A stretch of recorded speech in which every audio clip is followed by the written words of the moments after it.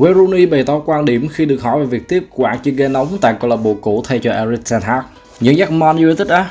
Tất nhiên đó là mục tiêu và là nơi tôi muốn vươn tới. Rõ ràng trở thành huấn luyện viên ở Man United hay Everton đều là những công việc lớn lao mà tôi rất muốn thử sức. Nhưng để làm huấn luyện viên ở Man United đòi hỏi cả một quá trình và tôi phải cố gắng thực hiện các bước rõ ràng để đưa bản thân mình trở lại đúng hướng.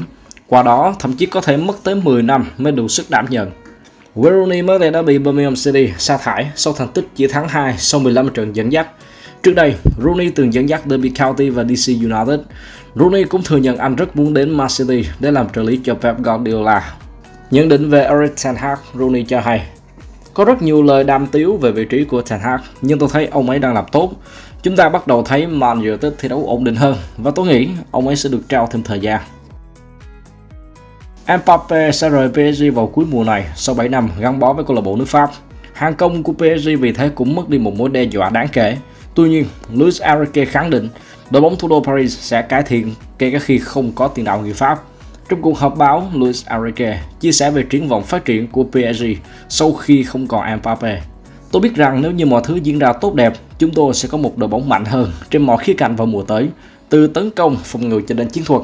Tôi không có gì nghi ngờ về khả năng đó. Mbappe đã đưa ra thông báo với ban lãnh đạo PSG về ý định ra đi. Một nguồn tin khẳng định Real Madrid đã đạt được thỏa thuận chuyên môn Mbappe với một bản hợp đồng dài hạn. Hiện tại, PSG cũng đã liên hệ với những cầu thủ nhằm thay thế cho Mbappe, gồm Rafael Leao, Victor Osimhen hay Marcus Rashford. Việc PSG đón một siêu sao thay thế cho Mbappe vào mùa hè tới là chuyện vô cùng đơn giản và có thể tin rằng sức mạnh của đội bóng này không hề bị suy giảm quá nhiều. Mới đây, cơ quan phòng chống doping của Ý tuyên án cấm thi đấu 4 năm với Paul Pogba. Tiền vệ của Juventus bị phát hiện sử dụng chất cấm trong trận đấu giữa Juventus và Udinese hồi tháng 8 năm ngoái.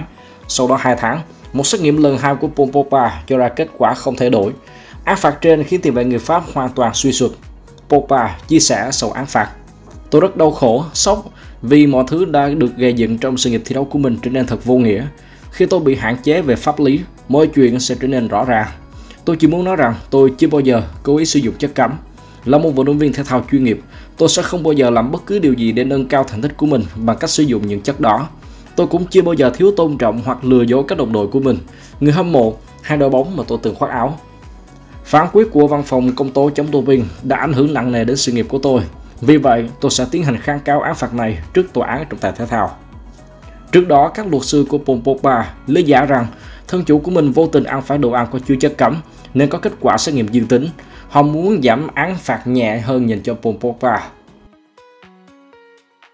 Ở trận lượt đi bán kết Champions League mùa 2011-2012, Real Madrid đã thất thủ 1-2 trên sân Allianz Arena. Trong trận tái đấu, Ronaldo đã chơi tuyệt hay và lập một cú đúp chỉ sau 14 phút. Xong, Arjen Robben đã gỡ lại một bàn. Màn thư hùng đã kết thúc với tỷ số hòa 3 đều. Do đó, hai đội phải phân định thắng thua bằng loạt sút luân lưu. Bayern Munich bản lĩnh hơn khi thực hiện thành công 3 trên 5 lượt sút.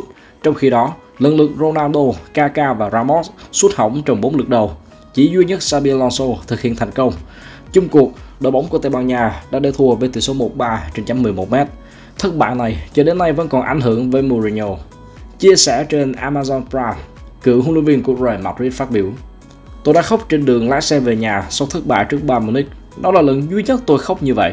Sau đó, Mendes gọi cho tôi với lời thỉnh cầu. Hãy giúp tôi một việc, hãy đến nhà Cristiano vì cậu ấy như người chết rồi. Tôi nói với ông ấy, tôi cũng chẳng khá hơn.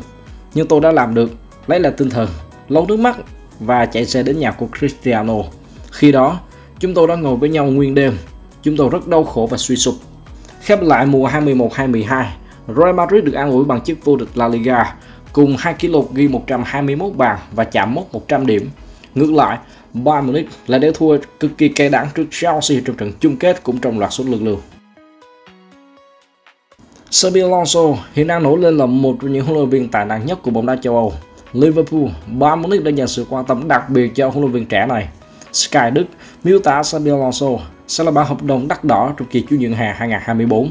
Trong trường hợp Alonso chấp nhận rời Leverkusen, đội bóng chắc chắn không muốn mất trắng người thuyền trưởng tài ba của mình, theo đó sẽ đòi phí bồi thường hợp đồng từ 15 đến 20 triệu euro.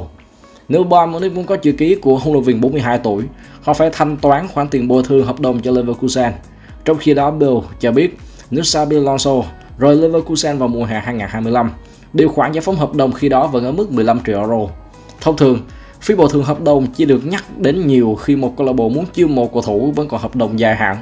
Như trường hợp của Xabi Alonso có lẽ là ngoại lệ. Huấn luyện viên này vẫn còn hợp đồng với câu lạc bộ đến năm 2026. Tuy nhiên, Bill gần đây cho biết trong điều khoản hợp đồng đã ký với Leverkusen có chi tiết Xabi Alonso được phép rời câu lạc bộ để trở lại một trong những đội bóng cũ của mình, Liverpool, Bayern Munich hoặc Real Madrid. Như vậy, rào cản để ba đội bóng trên muốn có chữ ký của Xabi Alonso chỉ nằm ở mức phí giải phóng hợp đồng. Sport tiết lộ ban lãnh đạo Barcelona chuẩn bị chấm dứt hợp đồng tài trợ với hãng thể thao Nike để tự sản xuất quần áo thi đấu riêng cho mình. Quyết định này có thể tạo ra một cuộc cách mạng mới trong lĩnh vực áo đấu bóng đá, bởi chưa có đội bóng đỉnh cao nào tự sản xuất trang phục trong kỷ nguyên hiện đại. Barcelona sẵn sàng mặc trang phục do câu lạc bộ tự sản xuất vào mùa giải tới, khi lên kế hoạch hợp tác với nhiều công ty gia công và phân phối quần áo ở Barcelona. Ban lãnh đạo đội chủ sân Spotify Camp Nou sẽ có cuộc họp với Nike vào tháng này để đưa ra quyết định cuối cùng. Trong bối cảnh kinh tế khó khăn và các khoản nợ chồng chéo, đây là giải pháp có thể giúp Barcelona tối ưu hóa lợi nhuận. Họ sẽ không phải chia phần trăm với Nike trên mỗi chiếc áo đấu mình bán ra. Theo dữ liệu của Guardian, thông thường các câu lạc bộ chỉ nhận từ 7,5% cho đến 15% lợi nhuận trên mỗi chiếc áo đấu bán ra. Phần doanh thu còn lại sẽ chảy về túi của các công ty sản xuất áo đấu. Huấn luyện viên Luis Castro chê trách hàng thủ Al Nassr thay vì cho rằng Ronaldo vắng mặt là nguyên nhân khiến đội bóng này bị câu lạc bộ Al Hazim cầm hòa 4 đều. Ronaldo là tên tuổi lớn của bóng đá thế giới, luôn giúp đội bóng mỗi khi thi đấu. Cậu ấy truyền năng lượng cho cả đội và các đồng đội coi cậu ấy như hình mẫu. Đối thủ cũng sẽ tôn trọng chúng tôi hơn nếu như có Ronaldo trên sân. Tuy nhiên, việc cậu ấy vắng mặt hôm nay không ảnh hưởng gì đến kết quả trận đấu.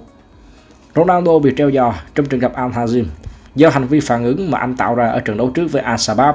Tiền đạo 39 tuổi vẫn có mặt trên khán đài và thu hút sự quan tâm của truyền thông.